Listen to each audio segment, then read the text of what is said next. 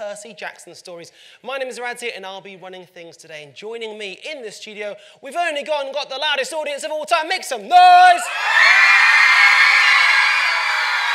Now, that's what I'm talking about. Can everyone in Camp Half-Blood with orange flags make some noise? And Camp Jupiter with purple flags, make some noise! That was loud.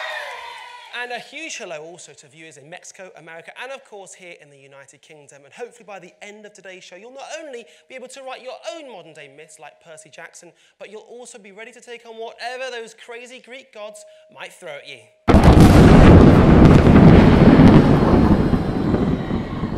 Can you hear me? Uh, okay. Hey, okay, well, good. I'm, I'm glad. Hey, everybody, this is Rick Riordan. Yeah, sorry about the power failure. I think Zeus is uh, messing uh, with the uh, lightning bolts here on Mount Olympus again. Anyway, glad to be with you for uh, Puffin Virtually Live, and thanks for tuning in to the Modern Myth Master Writing class. I'm really looking forward to this. We're going to answer your questions in a little while, and I'll be drawing a monster along with you, although my writing uh, skills are a lot better than my drawing skills, so we'll see how that goes. That man is a legend, and Rick's going to be answering your questions later on in the show. Please tweet your hellos to at Puffin Books using the hashtag, hashtag Rick Riordan Show to get a surprise school shout out right here on the screen. So, like Rick said, today you're going to find out how to write your own modern day myth. And to do this, you'll need to create a hero, invent a quest to send them on, describe the setting, and the best bit, choose a couple of monsters. So let's get started with creating a hero. So to everyone here and in your classrooms, put your hands up if you know who Percy Jackson is. I'm not surprised at all because he is pretty famous. But he once thought he was just an ordinary boy. Well, that was until he vaporized his maths teacher. Percy Jackson's world is just like ours. There are skateboards and computers. The only difference is that the Greek gods still exist, and sometimes they come down to earth to make a little bit of trouble. One day, Percy finds out that his dad is actually a god. Does anybody, by the way, know who that god is? Poseidon! Absolutely spot on. Poseidon, you are correct to say that. But who is Poseidon? That's one for Rick. Yeah, who is the god Poseidon? Good question. Well, he's the god of the sea, uh, and because of that, Percy shares some of his water-based powers. For instance, Percy's a great swimmer. He can hold his breath pretty much forever. He can also use the water to heal himself and to fight enemies. He's especially good at making toilets explode.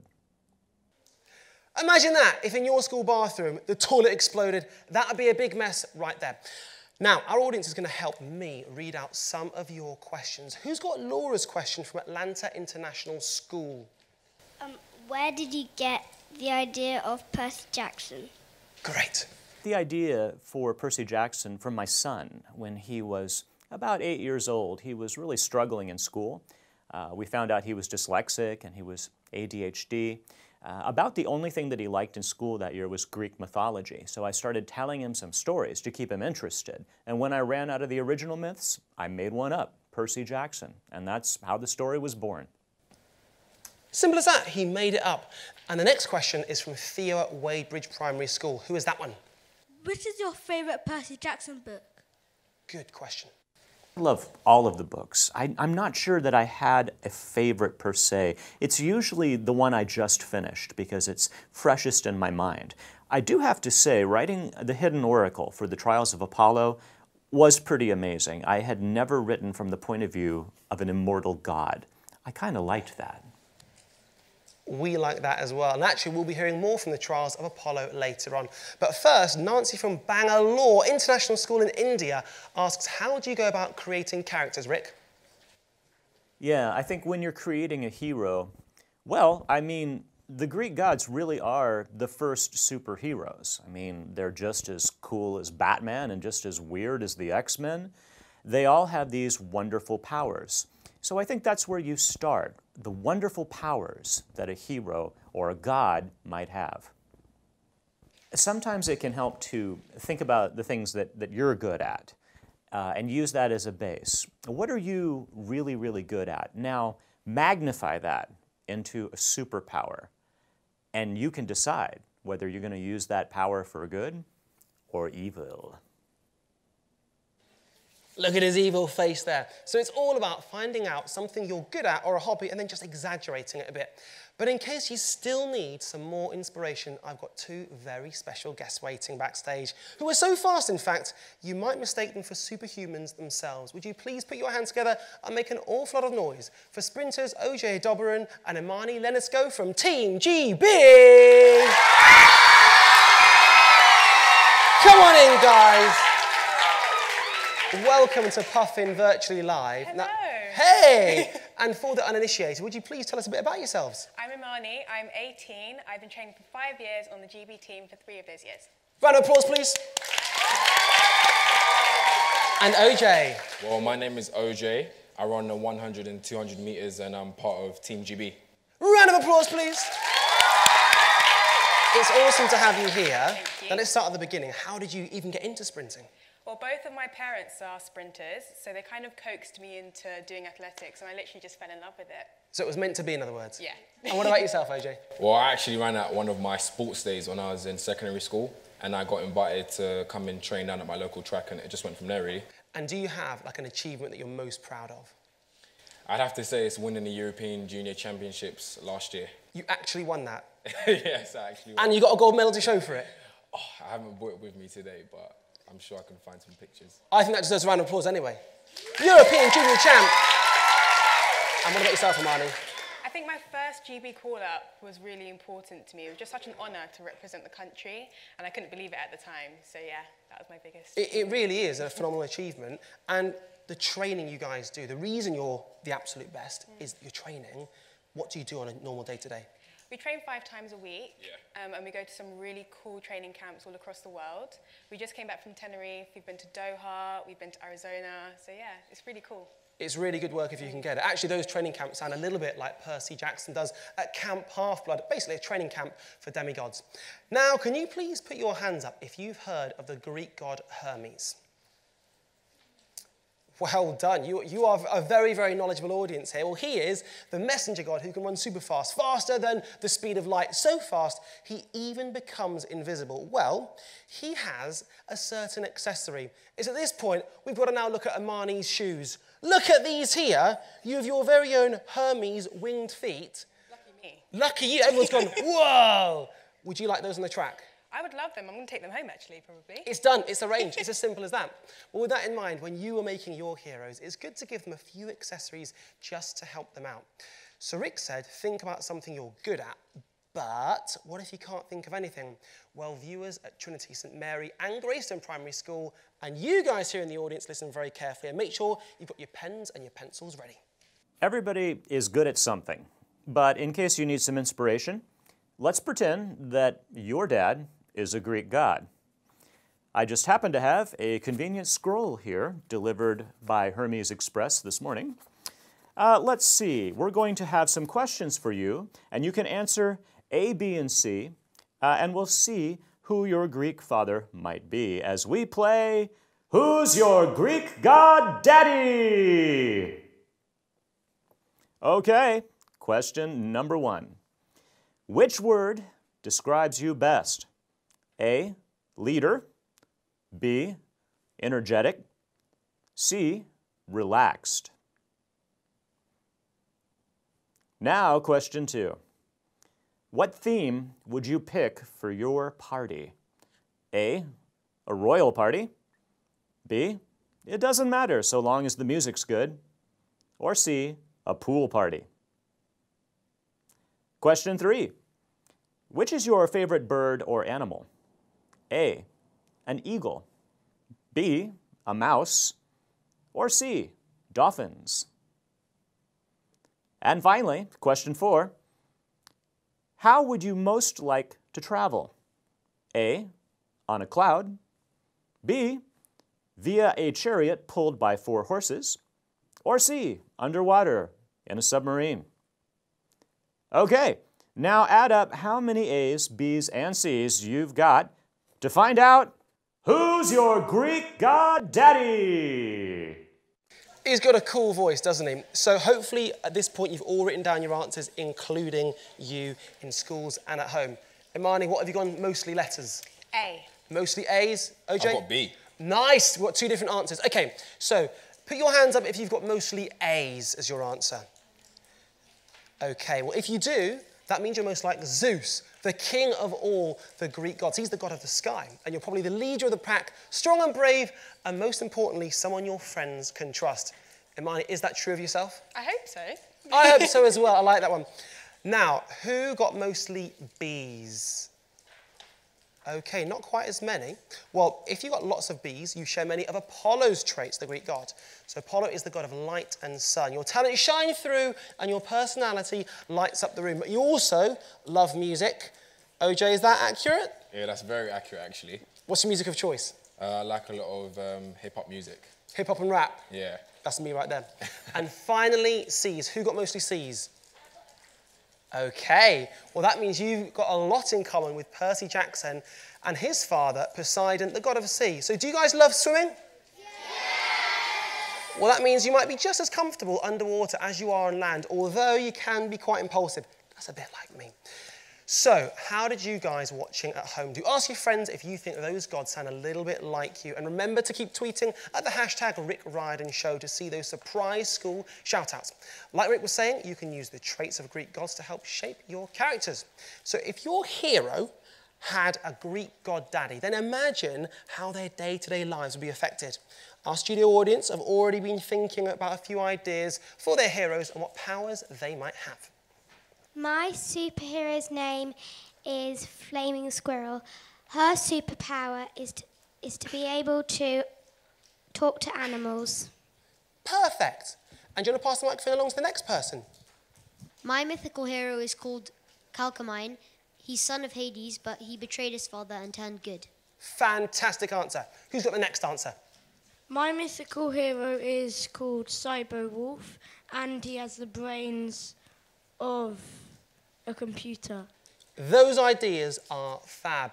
Okay, so I hope you've all got some ideas for your heroes now because next up, we're going to send them on a quest. A quest is like a mission or an adventure. In Percy Jackson's world, heroes and demigods go on quests to find lightning bolts to save the world and to prove themselves. Rick Riordan uses lots of quests in his books inspired by Greek myths, which is why we challenged him to see how many he could remember in just 45 seconds.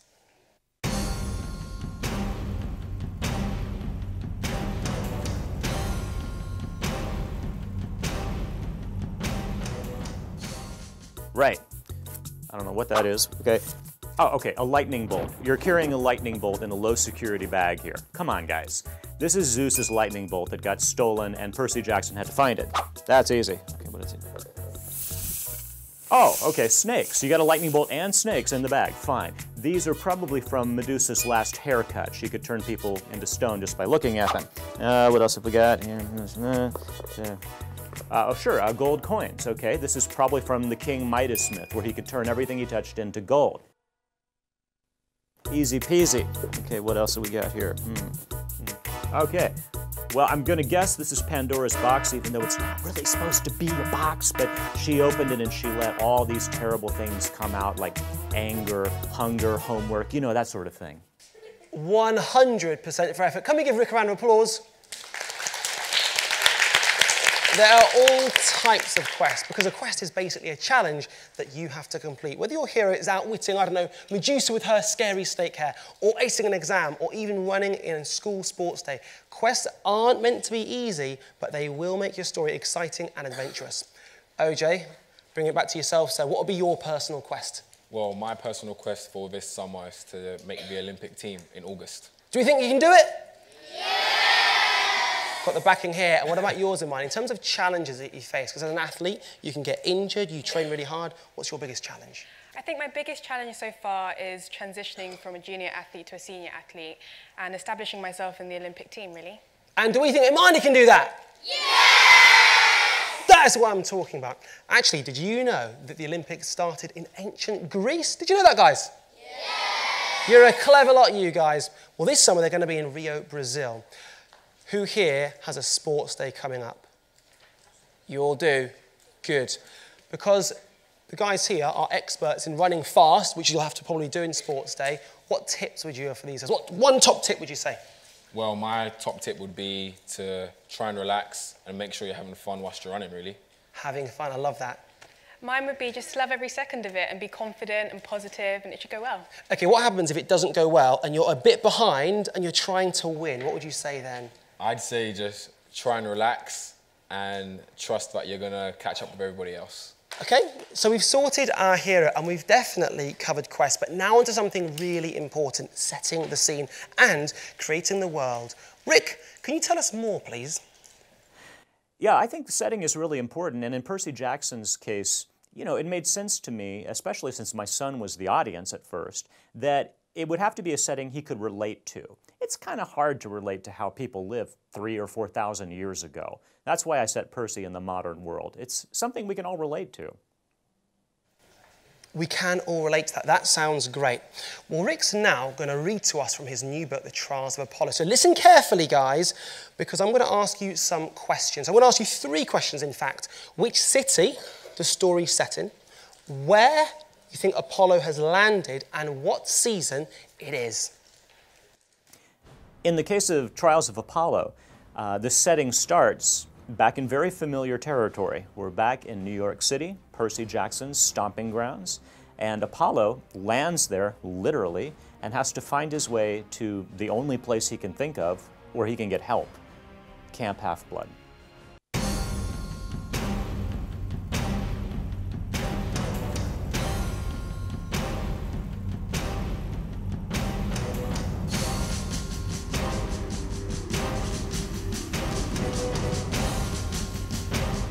I simply woke up falling. Skyscrapers spiraled in and out of view. Flames streamed off my body. I tried to fly. I tried to change into a cloud or teleport across the world or do a hundred other things that should have been easy for me. But I just kept falling. I plunged into a narrow canyon between two buildings and bam! Is anything sadder than the sound of a god hitting a pile of garbage bags. I lay groaning and aching in an open dumpster. My nostrils burned with the stench of rancid salami and used diapers. My ribs felt broken, though that shouldn't have been possible. My mind stewed in confusion, but one memory floated to the surface the voice of my father, Zeus. Your fault your punishment. I realized what had happened to me, and I sobbed in despair. Even for a god of poetry, such as myself, it is difficult to describe how I felt. How could you, a mere mortal, possibly understand? Imagine being stripped of your clothes, then blasted with a fire hose in front of a laughing crowd. Imagine the ice cold water filling your mouth and lungs, the pressure bruising your skin, turning your joints to putty. Imagine feeling helpless, ashamed, completely vulnerable, publicly and humiliatedly stripped of everything that makes you you. My humiliation was worse than that. Your fault. Zeus's voice rang in my head. No, I cried miserably. No, it, it wasn't. Please. Nobody answered. On either side of me, rusty fire escapes zigzagged up brick walls. Above, the winter sky was gray and unforgiving. I tried to remember the details of my sentencing. Had my father told me how long this punishment would last? What was I supposed to do to regain his favor? My memory was too fuzzy. I could barely recall what Zeus looked like, much less why he'd decided to toss me to earth. There'd been a war with the giants, I thought. The gods had been caught off guard, embarrassed, almost defeated. The only thing I knew for certain, my punishment was unfair. Zeus needed someone to blame, so of course, he picked the handsomest, most talented, most popular god in the pantheon, me. I lay in the garbage, staring at the label inside the dumpster lid. For pickup, call 1 555 Stingy.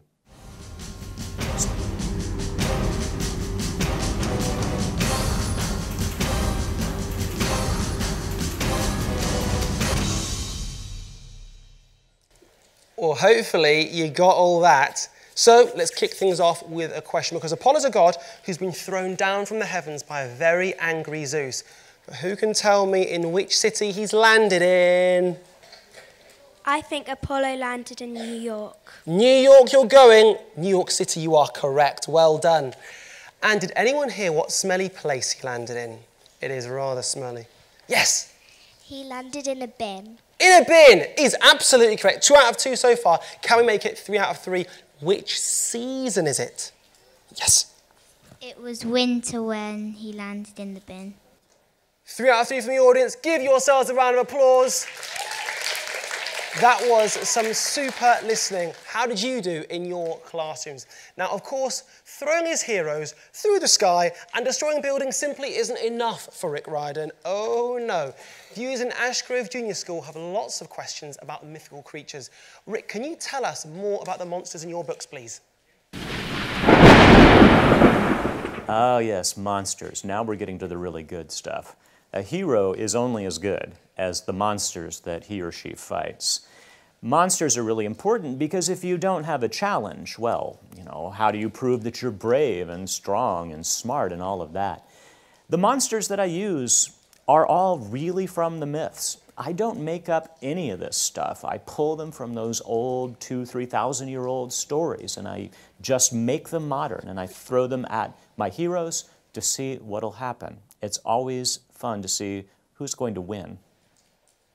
It's really fun to see that. And actually, Rick, while we've got you on the line, can you tell the viewers at Dawlish Community College and Park Hill Primary School which is your favourite monster? Monsters, you know, I like them all, but I think probably my favorite is the Minotaur. Before I met the Minotaur, I was not afraid of cows, uh, and now, yeah, kinda am.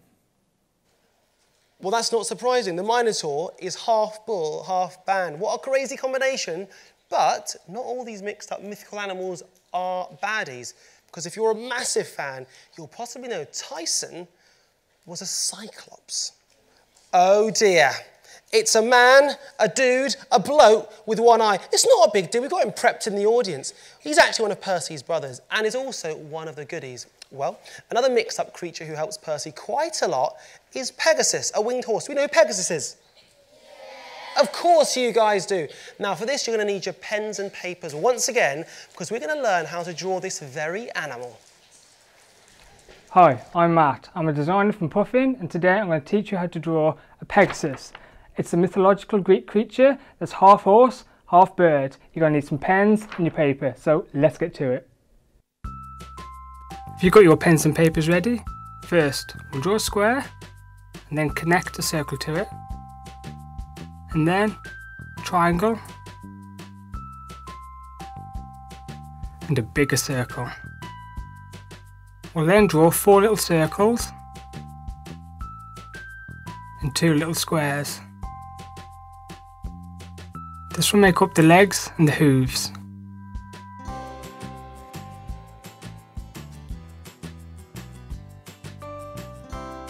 We'll then draw the back legs and the feet with tiny circles and tiny squares.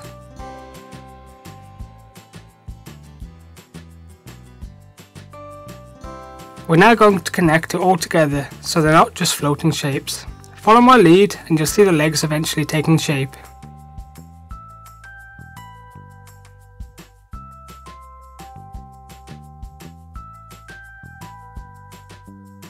Now, let's connect the body together. This is my favourite part. Take your pen and draw the big sweeping wings. A Pegasus isn't a Pegasus without wings. And don't forget to draw the tail. We'll then move back to the head and add detail. Make sure the head is connected by drawing a line around the front of the body. We then want to outline the legs and give the Pegasus some feet.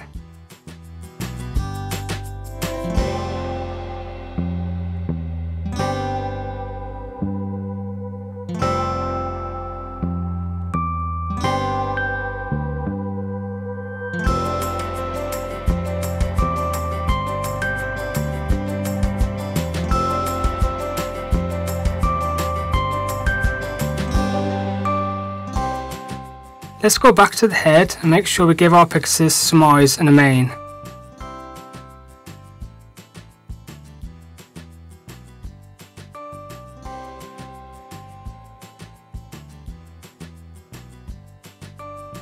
And let's give her or him some feathers.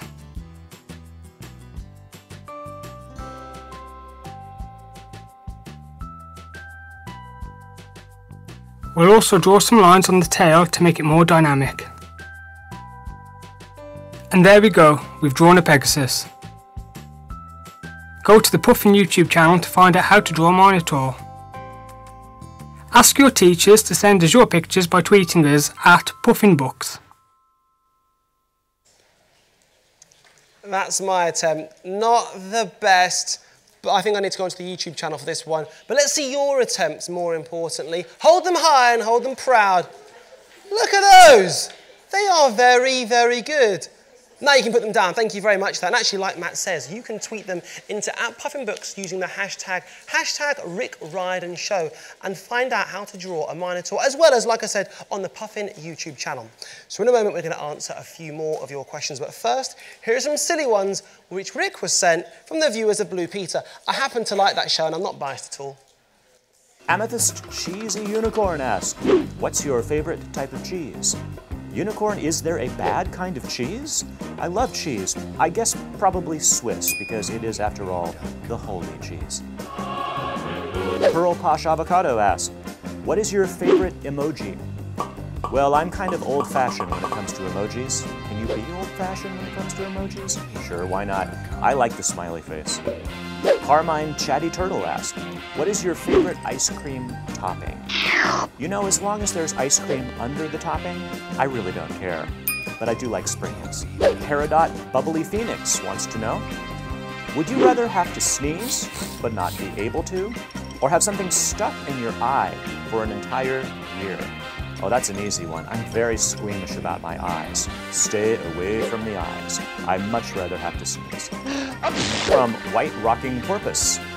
If you could have any topping on a pizza, what would it be? You're implying that there are toppings other than pepperoni? I will have to look into this. Then Wintry Current asks, Have you ever done skydiving? Oh, dear Zeus, no. Mm-mm. Like Percy, I try to stay out of the sky as much as possible. I'm a little terrified of heights. Blue Peter viewers always write the best questions. Okay, so now I've got time for just two more questions from our online audience. Sophie from Quadring School asks, what was your favourite book as a child? I had a lot of favorites. Uh, I think James and the Giant Peach would probably be right up there. Uh, I loved when that big peach rolls over the evil ants. I just thought that was a wonderful scene. It's a classic. And today's very last question is from Abby at St Mary's, GNS in Ireland, who asked, Who inspired you to be a writer? I had a very good English teacher when I was about 12 years old, and she was the first one to say, Rick, you could be a writer if you wanted to. She's also the person that got me really, really interested in reading. So I have to thank Mrs. Pabst, my old English teacher. And of course, also my parents. They took the time to read to me, and they definitely inspired me a lot. Well, there you go. We started off by vaporizing our teachers, and now it turns out they can be pretty inspirational. Well, we've reached just about the end of the show, but we've got a few thank yous to make. Now, it wouldn't be Puffin Virtually Live if we didn't bring our athletes back on, because do we know who Jessica Ennis and Mo Farah are? Well, we could be looking at two future Jess Ennis's and Mo Farah's right here in the name of OJ and Imani. Can we please give them a massive round of applause? That's what I'm talking about. Thank you so much to everyone for watching, and also thank you to your audience. Give yourselves a round of applause. Good luck in writing your own modern day myths, and also we cannot end the show without saying an enormous, massive, make a huge lot of noise for the Mythmaster himself, Rick Riordan. Well, you can watch this show again on demand, and you can even sign up for the autumn programme of events, which includes the Roald Dahl Day extravaganza on September 13th, a show with BBC Sports presenter Clare Balding, and a Christmas special with McFly's Tom Fletcher. Thank you very much for watching. Bye-bye!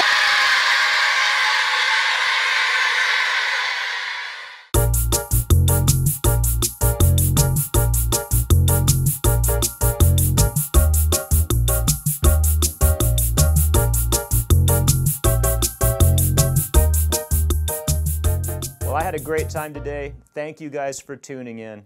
Best of luck with writing your modern myths. Take care. My superhero would be called Eagle and he has wings and claws. My superhero would be called Zap and he has super speed.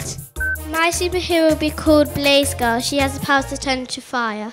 My hero's name is Oisin. He's half deer, half human, and he's got big antlers that help him fight and long legs that help him jump. My hero is called Humopus. He's half human and half octopus. When he's in the sea, he protects the sea creatures, and when he's on Earth, he protects humans.